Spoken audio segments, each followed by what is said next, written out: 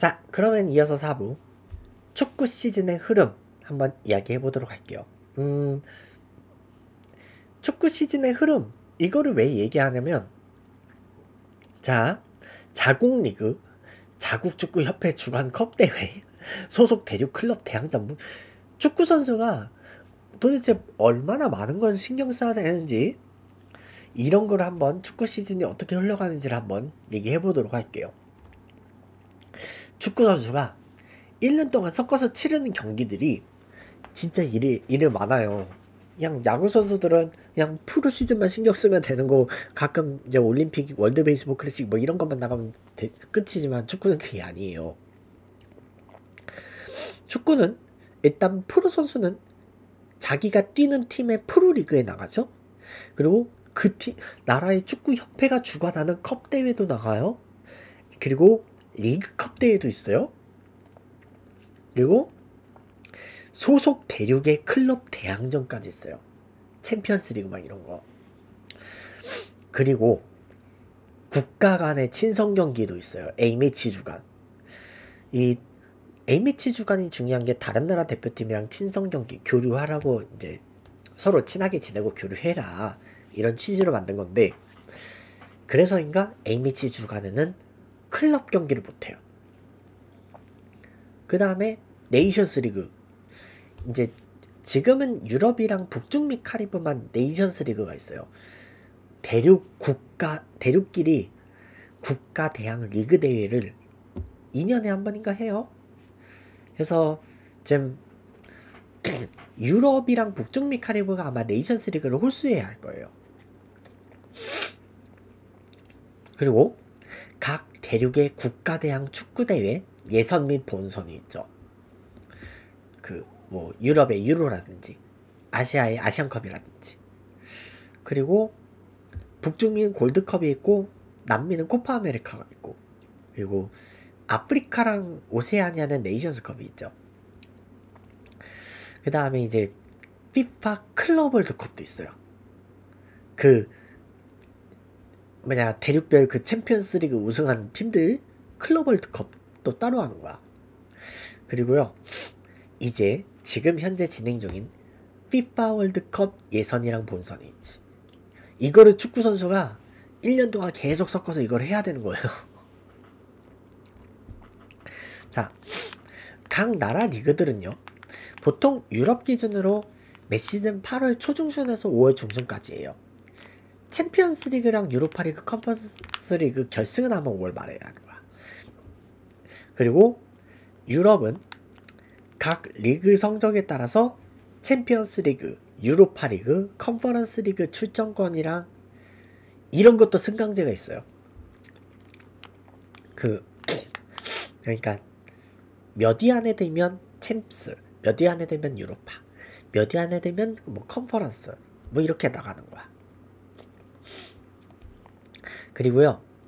이제 잉글 각 나라 유럽 각 나라의 최상위 리그들 잉글랜드는 프리미어 리그고 스페인은 라리가 이탈리아는 세리에아 프랑스는 리그앙 그리고 독일은 분데스리가가 있죠 근데 이제 분데스리가는 18팀이고 이 잉글랜드, 스페인, 이탈리아, 프랑스는 20팀이에요 그래서 자기 자신을 제외한 나머지 팀들이랑 호, 홈앤드 어웨이 경기를 하지 이게 한 시즌이야.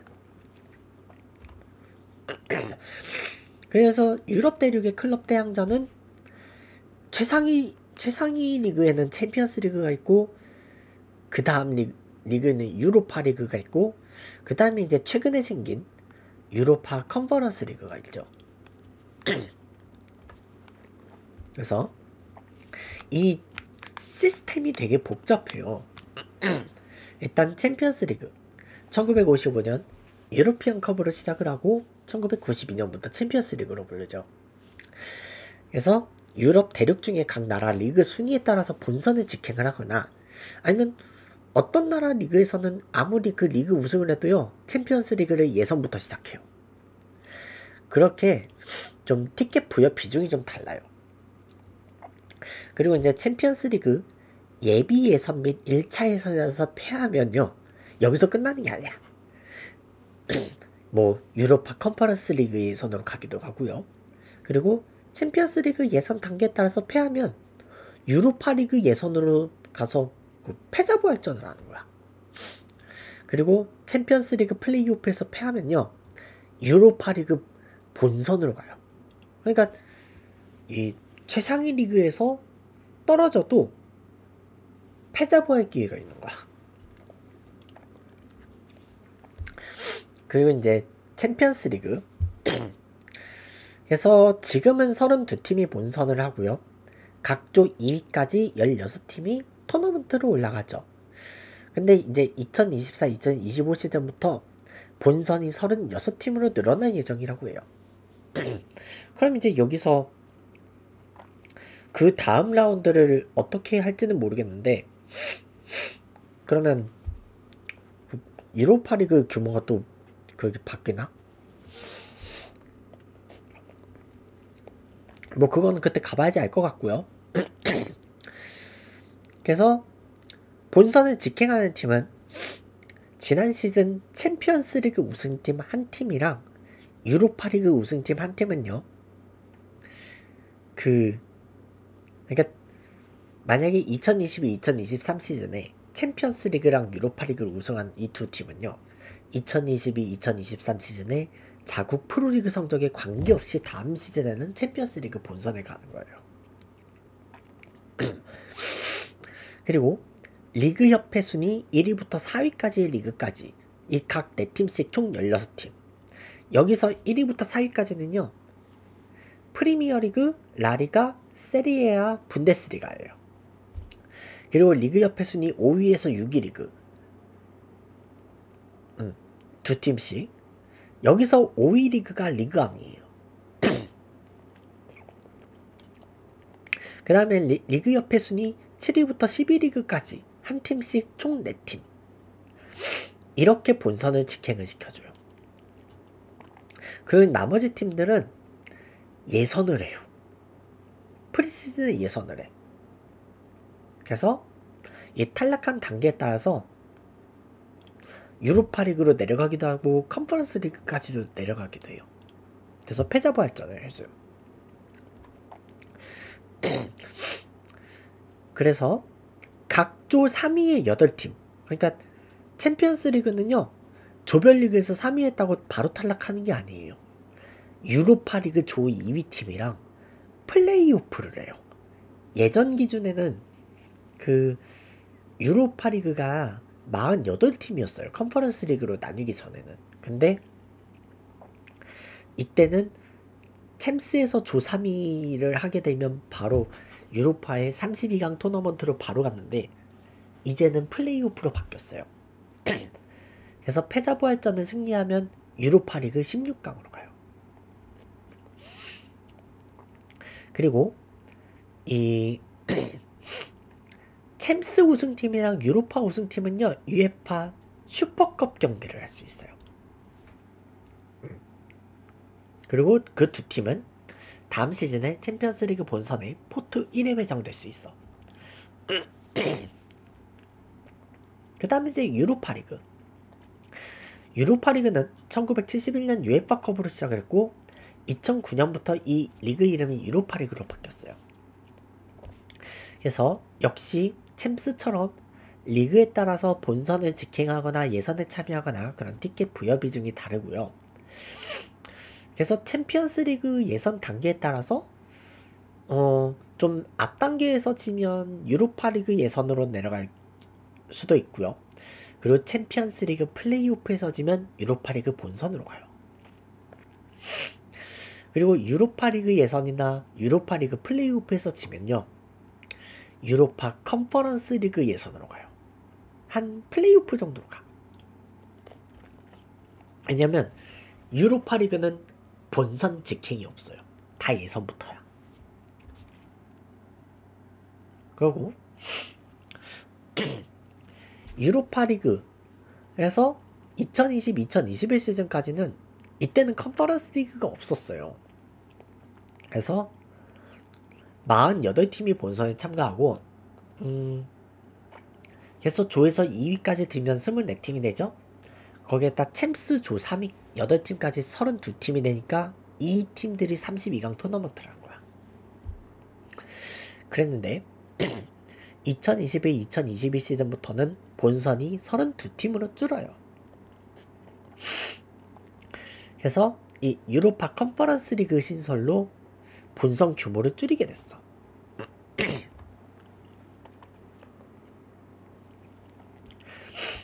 그 다음에 이제 유로파 리그가 있어요. 자, 네, 유로파 리그. 그래서 유로파 컨퍼런스 리그 우승팀은 본선을 직행을 해요. 자, 그 다음에 리그 협회 순위 1위부터 7위까지는 국내 컵 대회에 우승한 팀 이 본선 직행권을 주는데 챔피언스 티켓이랑 중복일 경우는 준우승 팀으로 승계가 돼요. 그리고 그 다음에 리그 협회 순위 1위부터 4위까지 그 프리미어리그, 라리가, 세리에아, 분데스리가 이 5위 팀 4팀이랑요. 그리고 리그 순위 협회 5위 리그 4위 팀 여기는 리그왕 4위 팀이에요. 그 다음에 유로파 리그 예선 플레이오프 10팀, 챔피언스 리그 예선 패자 10팀. 음, 그러니까 챔피언스 리그 예선 제일 마지막 단계겠죠? 여기까지 직행을 줘. 그래서 유로파 리그 같은 경우 조 1위는 16강에 바로 올라갔는데 이번부터 바뀐 거예요. 2020, 2021, 2022부터. 1위는 16강으로 바로 가고요. 2위는 챔스 조 3위 팀이랑 패자부활전을 해요. 여기서 이기면 16강에 가는 거야. 그리고 유로파 조 3위는요.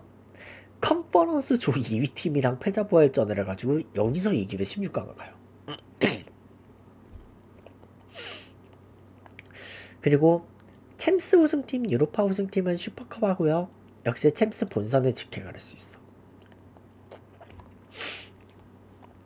자, 그러면 이제 2021-2022 시즌부터 유로파 리그의 하위 리그로 신설된 컨퍼런스 리그를 볼게요. 컨퍼런스 리그는요, 본선 직행 시드가 없어요. 그냥 유럽 축구협회 리그 순위에 따라서 진짜 유럽 축구협회 막 하위 리그 팀들은 1단계 이상부터 시작하는 거고 어떤 팀은 2단계 이상부터 시작하고 어떤 팀은 3단계 이상부터 하는 거예요.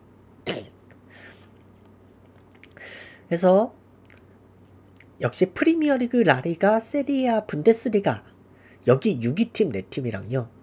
리그왕 5위 팀은 그래도 컨퍼런스 리그 플레이오프로 가요. 플레이오프부터 시작해.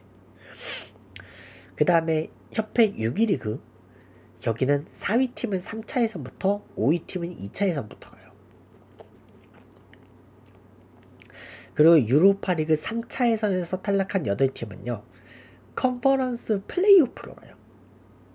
이게 컨퍼런스 예선 플레이오프로 그래서 패자부활전을 하고요. 그래서 컨퍼런스 리그도 본선은 32팀을 가려내요.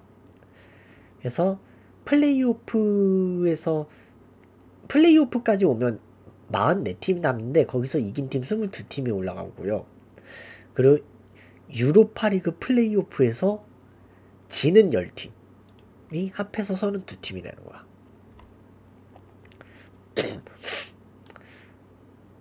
그래서 여기서 그 조별리그 1위는 컨퍼런스 16강으로 바로 올라가고요. 조 2위는 유로파에서 조 3위에서 내려온 팀들이랑 패자부활전을 해요. 그리고 당연히 컨퍼런스 리그도 우승하면 다음 시즌에 유로파 리그 본선에 나갈 수 있어요. 자, 그럼 유럽 축구 클럽들은 그렇게 일정을 하고요. 아시아 대륙 클럽들의 주요 경기 일정들은요. 유럽이랑 달라요. 봄에 시작해서 가을에 끝나요. 올해는 조금 일찍 했죠. 그래서 자국 리그하고 축구협회 컵 대회하고 아시아도 챔피언스 리그가 있어요. 그리고 이제 각 대륙의 클럽 대항전은 라운드별로 홈앤드 어웨이예요. 그리고 그 원래 아시아도 챔피언스리그 결승전은 원래 중립 경기장에서 단판 승부를 했는데 이게 어디서 그냥 중립에서 단판 승부하니까 흥행이 너무 안 좋아가지고 결승전도 home and away로 해요. 그리고 유럽의 클럽 대항전은요. 챔스 유로파 컨퍼런스 세 개 세 단계 다요. 결승전은 별도의 경기장을 추첨을 해요. 그래서 추첨을 해가지고 단판 승부를 해요. 중립 경기장에서. 그래서 컨퍼런스 결승을 먼저 하고 유로파 결승을 그 다음에 하고 챔스 결승이 제일 마지막이야. 자, 그러면 이제 FIFA 클럽 월드컵이 있어요. 원래 1960년부터 인터컨티넨탈 컵이라고 있었어요. 그래서 유럽의 챔스 우승팀이랑 그 남미의 클럽 챔피언이랑 얘네끼리 붙는 게 있었어요. 그러다가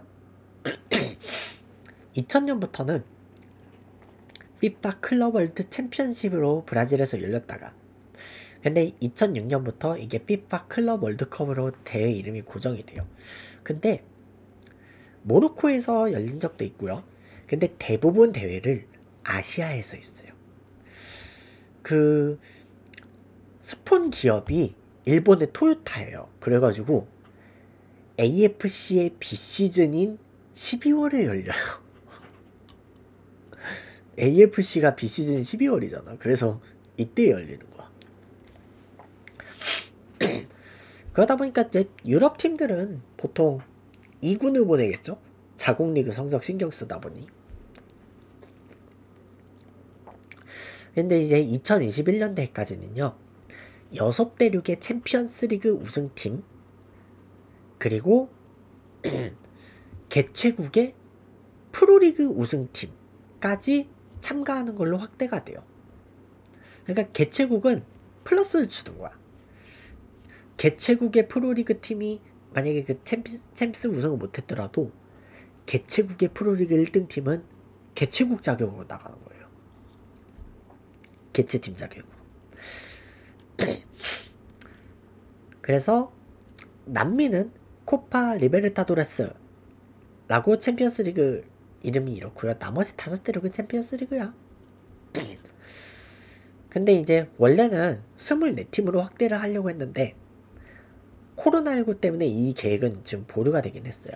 그래서 만약에 24팀으로 확대가 된다면 이제 대륙별 출전권이 좀 나왔어요. 일단 기본적으로 그 개최 개최팀 한 장은 기본으로 별도로 분류, 분리가 돼 있어요. 개최국의 전 시즌 리그 우승팀.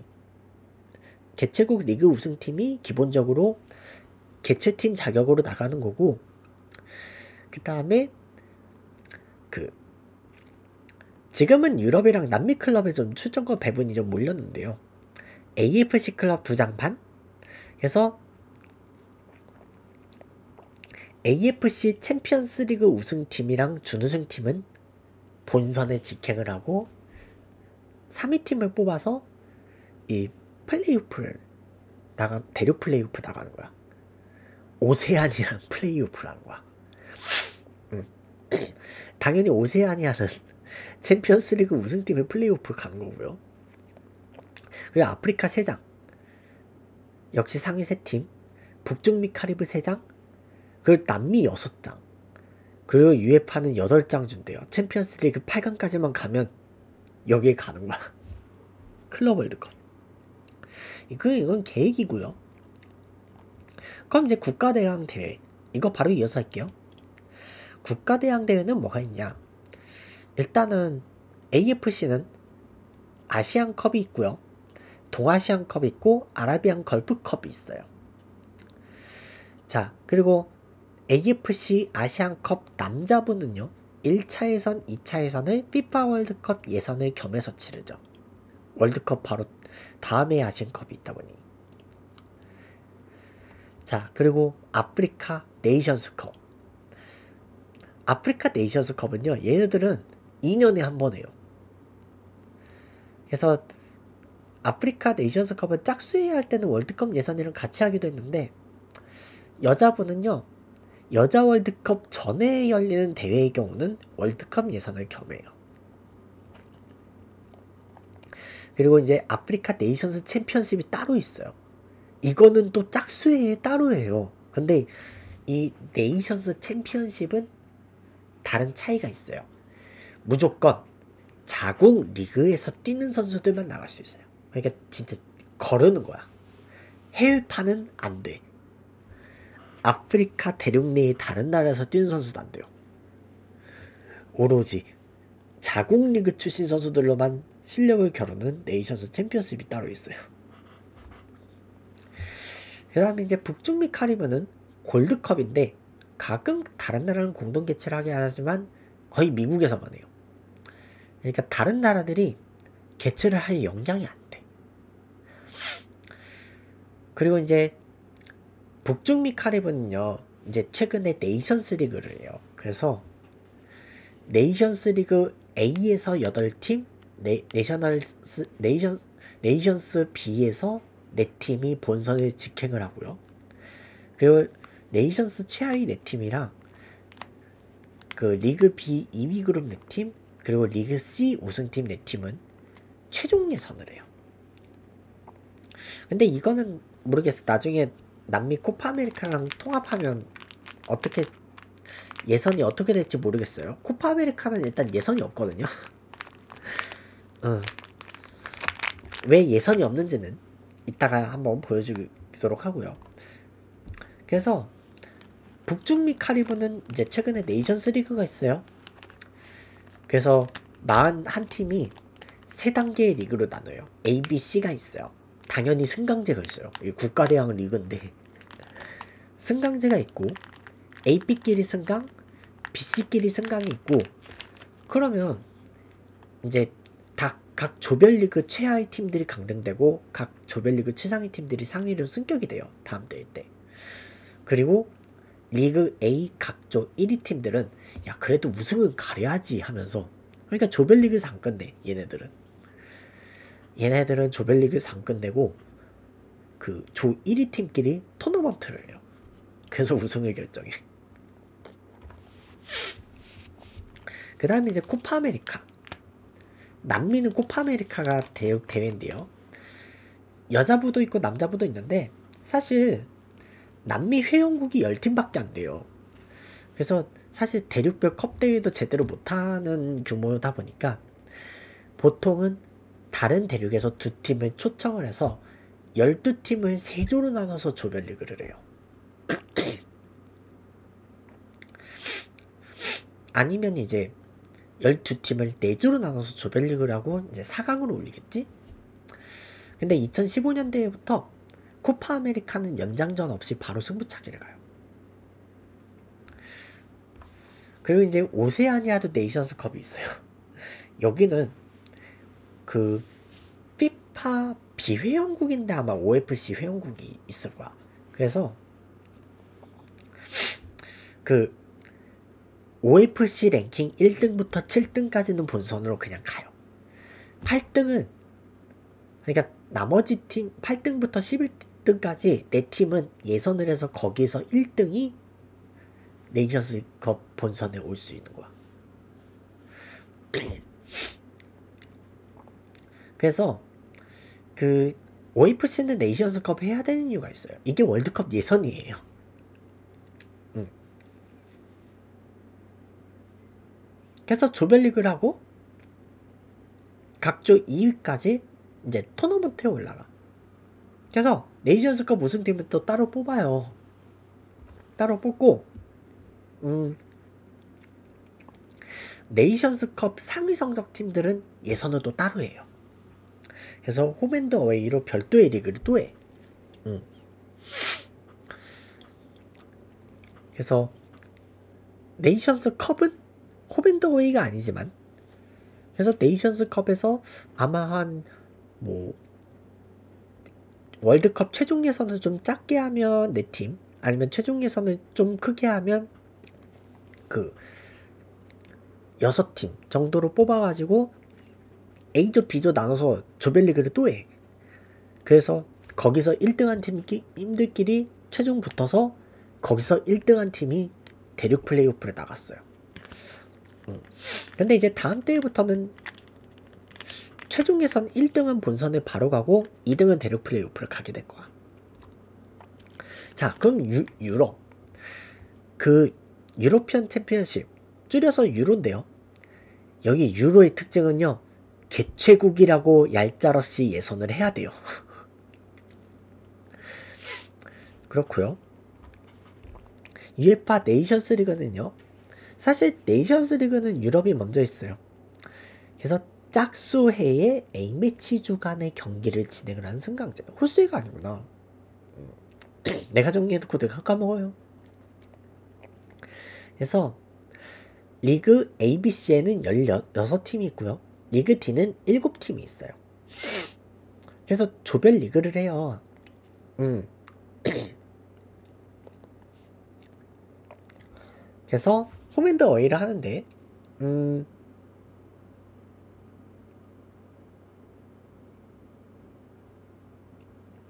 그래서 근데 리그 D가 7팀밖에 없잖아요.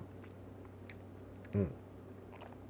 7팀밖에 없으니까 그 리그 C는 각조 최하위 4팀이 꼴찌 왕중왕전 플레이오프를 해서 진 팀 두 팀이 내려가요. 그래서 리그 D 같은 경우는 그 조가 두 개니까 거기서 이긴 두 팀, 1위를 한 두 팀이 그 리그 C로 올라가는 거야. 그렇고요. 그 다음에 리그 ABC끼리는 그거지. 16팀씩이니까 4팀씩 조별리그 짜가지고 최하위 4팀을 다음 대회 하위 리그로 내리고요. 음. 그렇고 그 다음에 이제 리그 A는 각조 1위 4팀이 단판 토너먼트를. 자, 그렇고 음, 이 유럽은요 이미 월드컵 예선에서요 네이션스 리그 성적에 따라서 그 유로 예선이라든지 월드컵 대륙 예선이라든지 플레이오프를 진출권을 줘요. 네이션스 리그 성적에 따라서. 근데 보통 네이션스 리그 성적이 좋은 팀들은 웬만하면 예선에서 잘 하거든. 그래서 본선 진출해요. 플레이오프를 가거나. 그래서 이 네이션스 리그 성적으로 와일드카드를 얻는 팀들은 보통 한 네이션스 리그 B, B리그나 C리그 정도에서 그 플레이오프 진출 팀이 나와요. 음. 그리고 이제 아마 유럽에서 다음 월드컵에 개최를 할 때는 그때 아마 대륙 플레이오프 진출권을 주겠지. 자, 그러면 대륙 대회는 걸로 끝이에요. 이제 국제 대회. 피파 월드컵이 있고요. 피파 여자 월드컵 있고 그리고 피파 청소년 월드컵 연령대별로 다 있고요. 그리고 피파 2 월드컵이 있어요. 이 피파 2 월드컵은 만 16세 이상이면 출전할 수 있는 e스포츠 월드컵이에요. 근데 이 e스포츠 월드컵 당연히 피파 게임을 하겠죠? 그 피파 온라인 아니고요. 피파 온라인은 거의 우리나라에서만 한 거고 그 넥슨에서 그 플레이스테이션이나 엑스박스를 갖다가 피파 시리즈 게임을 해요. 그 피파 시리즈 게임 하면 피파 온라인 말고 그 연도별 피파 시리즈 게임 있어. 이걸로 그 개인 선수 개인이 출전해 가지고 게임하는 거야. 그걸로 월드컵을 하는 거예요. 그래서 그 이 e스포츠 월드컵도 우승하면요 피파 올해의 선수 시상식에 나갈 수 있어요. 그 상 받으러 가는 거야. 신기하죠? 음. 뭐 그럴 수 있다는 거. 그래서 음. 그 청소년 월드컵 같은 경우는 보통 대륙의 청소년 대회가 그냥 그 월드컵 예선인 거예요. 그냥 대륙 대회 성적에 따라서 몇 등까지 본선 진출 뭐 이런 거야 그렇고 23세는 월드컵이 없어요. 23세 팀은 월드컵이 없는 이유가 올림픽에 나가거든. 뭐 그거 정도로 알고 있으면 될 것 같아요.